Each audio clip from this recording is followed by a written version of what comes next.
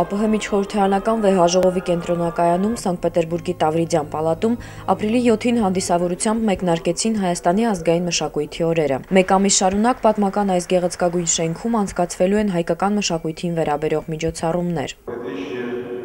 2014 год объявлен в России годом культуры. И мы подумали, что будет правильно, если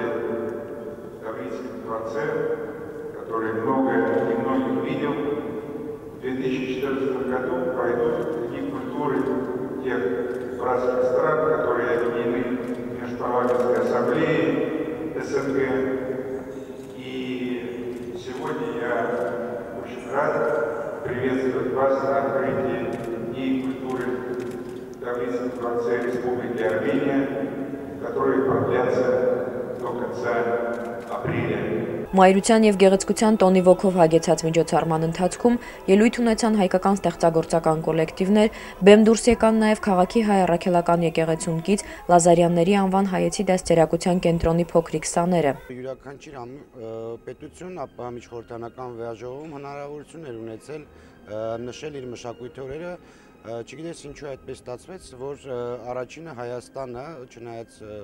նախորդում էին հունվար, փետրվար, մարտ ամիսները, բայց առաջինը Հայաստանի Հանրապետություն եւ հատկապես գեղեցիկ է որ մայրության եւ կանանց տոնի արթիվ ապրիլի 7-ին մենք նշում ենք նշում ենք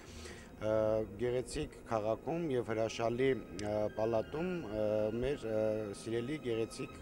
մայրերի եւ կանանց տոնը։ Հավաքվածների արչեւ հանդես եկավ նաեւ հայկական եկեղեցու մշակութային կենտրոնին կից երիտասարդական սիմֆոնիկ նվագախումբը Միհրան Աղաջանյանի գլխավորությամբ։ Նախ եւ առաջ իրազեկման առումով շատ կարեւոր են նման միջոցառումները, որովհետեւ պետք է ասել, որ քարոշչությունը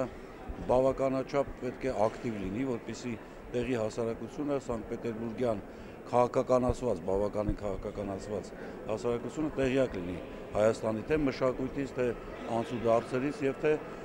հասարակ բան հայկական խոհանոցից, որ այսօր նույնպես պիտի ցուսադրվի։ Ներկաները հայկական խոհանոցին ծանոթանալու լայն հնարավորություն ունեին։ Դահլիճում նրանց համար կազմակերպվել էր տոլմայի պատրաստման վարպետության դաս, իսկ հայերակելական եկեղեցուն կից նոր սերունդ երիտասարդական կազմակերպության անդամները հյուրերին ներկայացրեցին Հայաստանի տարբեր շրջանների ճաշատեսակները։ Ժենշինը это продолжение рода человеческого։ Կինն ապահովում է մարդկային ցեղի շարունակությունը։ Նա մի ծաղիկ է, որն աշխարհին ջերմություն եւ բարություն է բերում։ Ոստի այսօր յուրաքանչյուր ընտանիքում կարևորագույն դեր է կատարում մայրը։ Նրա հետ է կապված ավանդույթների, լեզվի, մշակույթի պահպանումը։